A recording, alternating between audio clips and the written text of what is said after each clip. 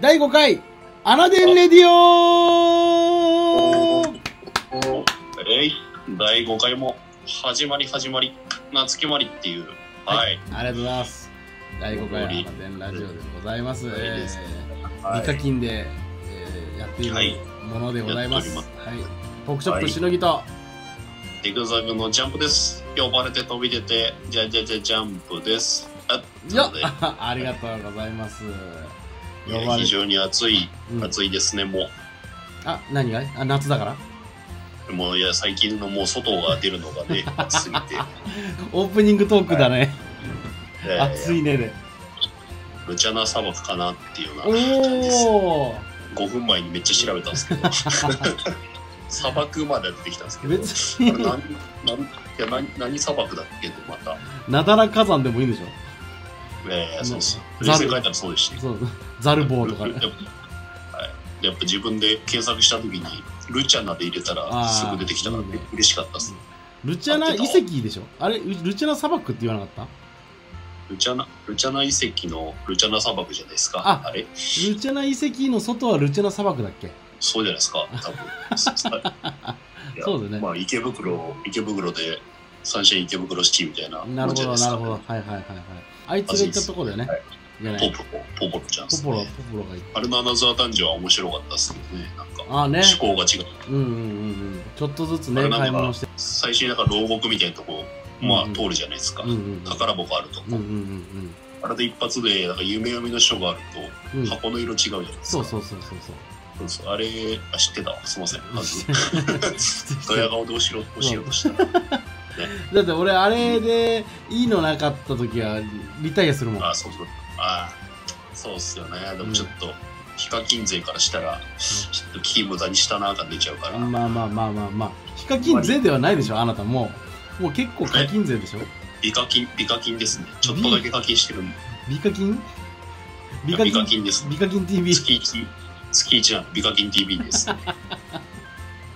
月1だとまあまあ課金にまあまあなっちゃうかな、課金組だよ。だって。最初はだからキャラが欲しいなと思ってやってたんですけど、うん。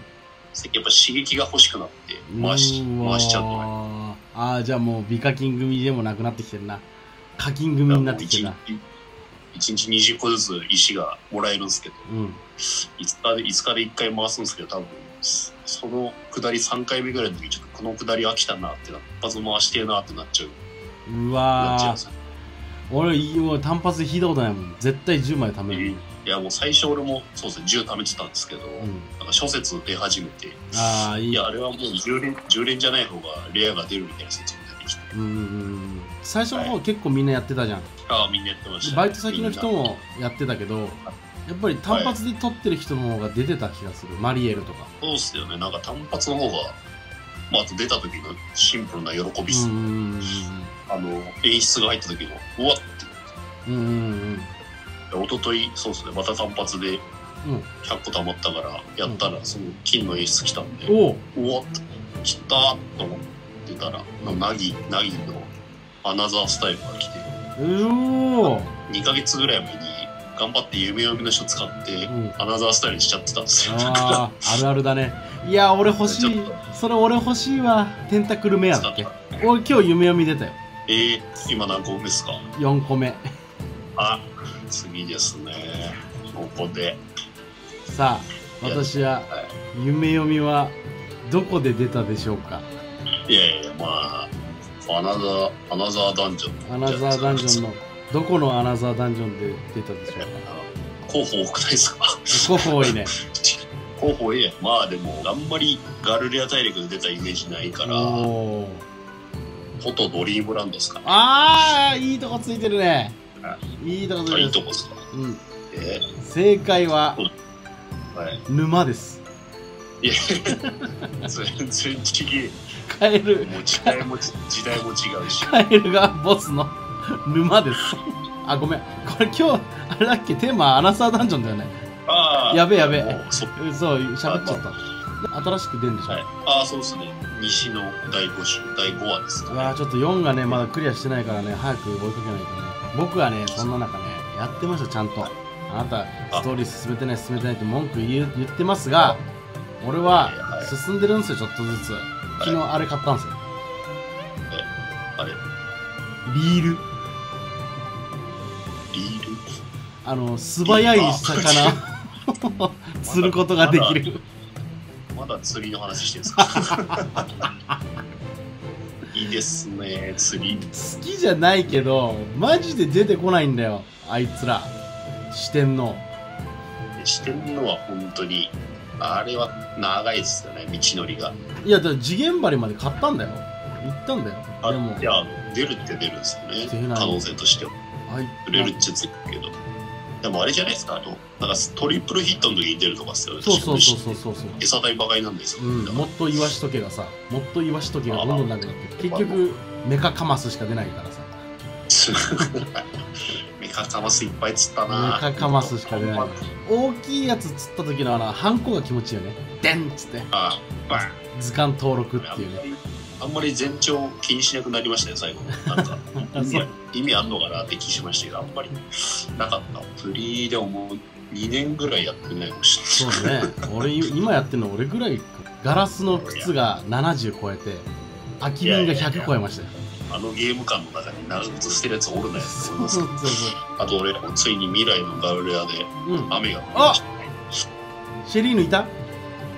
いやシェリーヌねいたんですよあシェリーヌ付きででももうあれっすね。フィールド行った瞬間から雨降ってたからうんそうそうそうあそうそうそうそう。ー嬉し嬉しかったけど。心も光ってあるもんねめっちゃ光った。うん。それはそれはわかるわってくらいうん、そうそうそうそうそう。雨雨も無駄に降りまくるし。そうそうそうな俺で何交換したの？あえっと最腕輪でした。ね腕輪か。普通に。なるほどね。防具。いやもう俺はとりあえずゲットしたらすぐ防具に変えたいのに全然変わらないから。あと何が必要いやでもあとでも基本的にグラスタばっかじゃないですか。基本的に。グラスタも今貯めたはいいけどこれ欲しいってのあんまねえなって思って。あそうなんだよね。あれっすね。九死に一生は割と使えそうっすよね。結局踏ん張る踏ん張る機能をつけられるんでいあれはいいなってあれは交換したかな？だ何誰の何につけるかだでも全然考えないですよね僕。あそう。だからとりあえず今適当につけまくってるんでだからダンジョンですねじゃあ後半の話ねは、はい。じゃあえっ、と今回の曲も決めてないですが何にしますか？じゃあ僕あれ聞きたいです。パラサイトイブみたいな。パラサイトイブみたいなあの歌詞付きのやつねパラサイトイブ的な。パラサイトイブ的な2部の歌のやつです。どうぞ。皆さん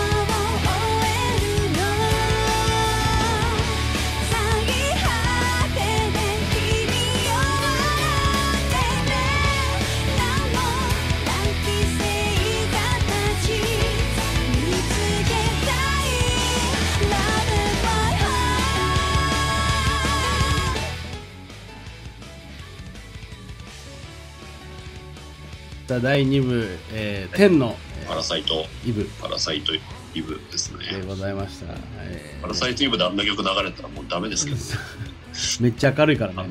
パラサイトイブ。あんな怖いゲームではいやってますけども。さあえっ、ー、と、はい。今回のテーマはですねなんと Another Dungeon でございます。あ出ました。Another も Dungeon うみんな大好き。みんな大好き。みんな大好き。Another Dungeon でございいや、ますねそうっすよ。もうやること終わったら、ずっとあの扉にばっかり行くんですよそうそうそうそうそう。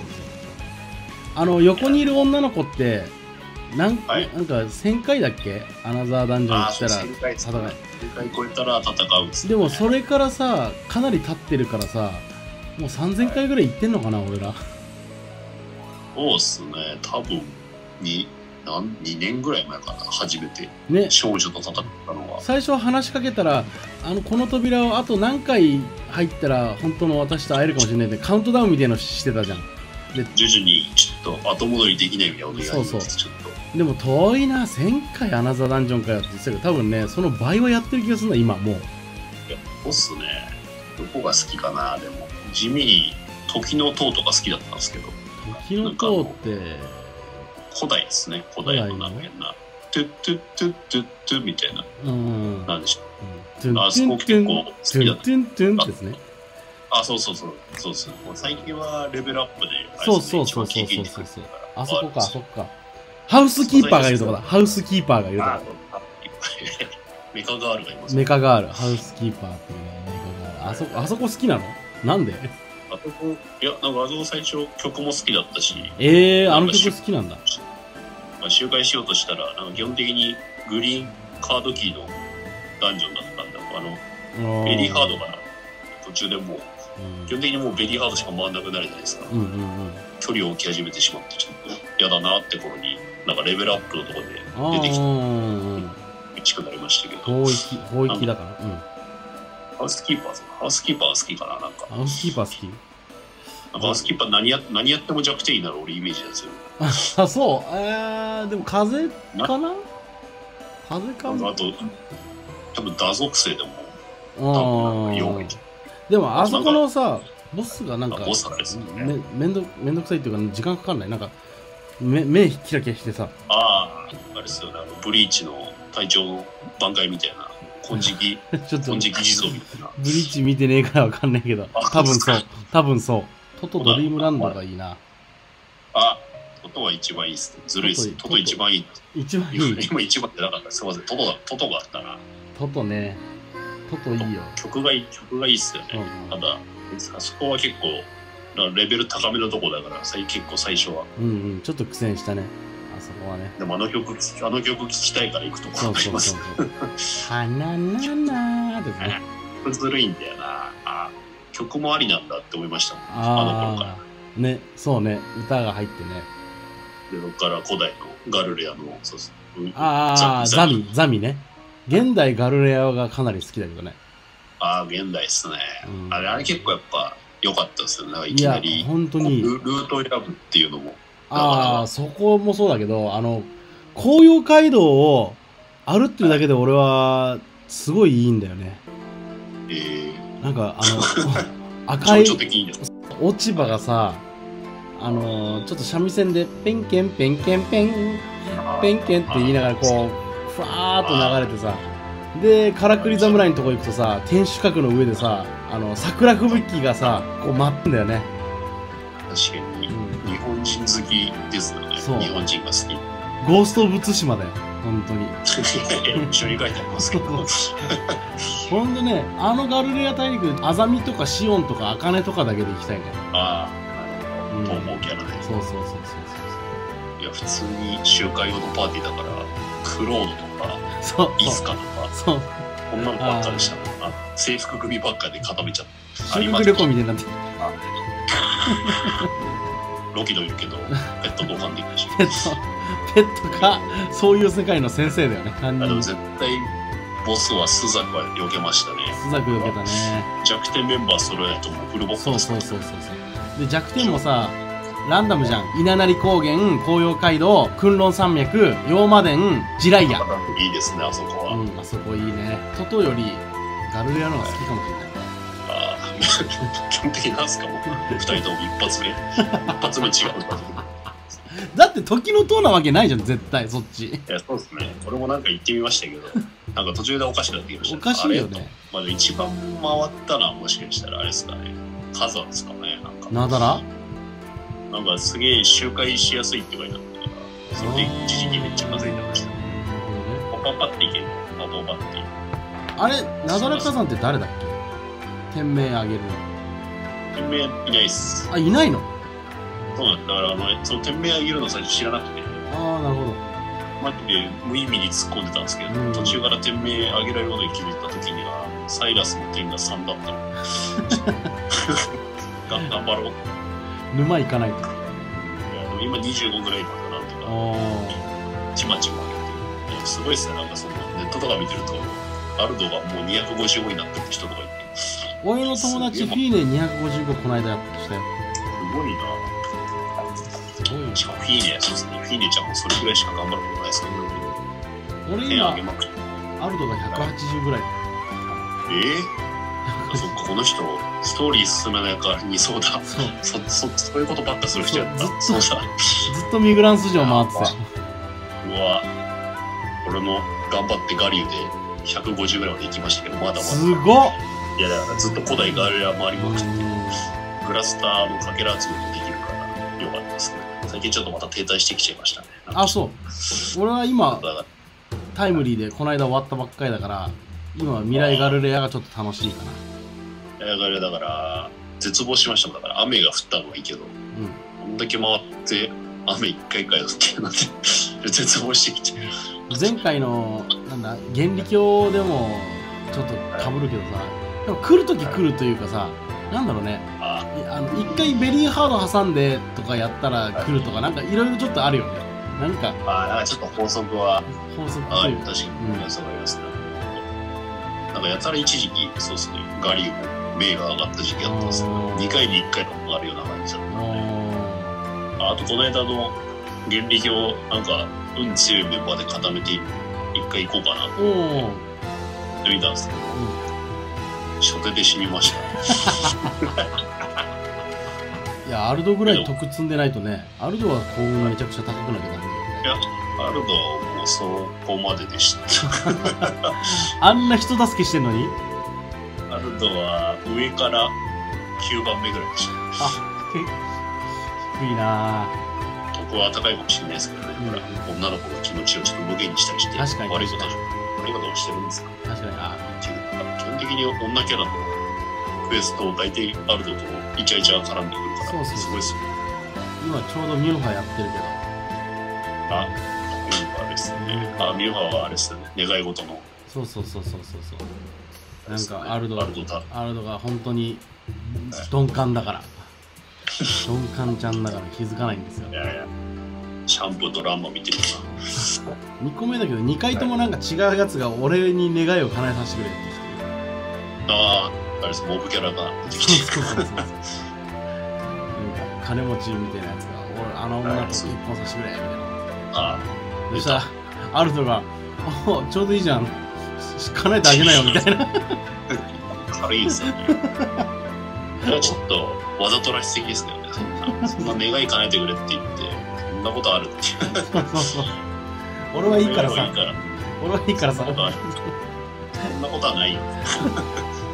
なんなら、助けてもらえよって思いますよね。そうそうそうそう的な次元の夢の。だったら三つ願い事3つでしょ？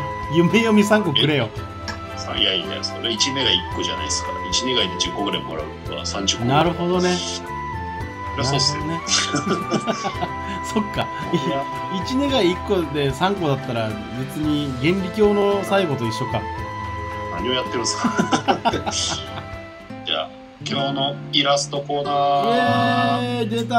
あるんですね。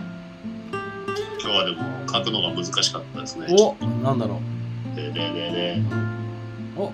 レンリちゃった。あレンリだ。レンリか。お疲れリあはー。お疲れンリいただきました。シンプルに、本当はあの、レンリちゃんめっちゃ書いて、なんか、数数式書いて、連立方程式ってのもあって お疲れ連立方程式。意外に一体書くのにめっちゃ疲れたんで諦めました。というわけで、はい。えー今回はあのアナザーダンジョンのお話でした、えーアナザまーダンジョン。た配信できたらと。思いまたます、。はい。じゃあまあ、いつも恒例のうんやつでいきましょう。うん。今日はさらばがにだわーい爆睡法プシューっていう。ただあのこの画像は映してないからね。あそっか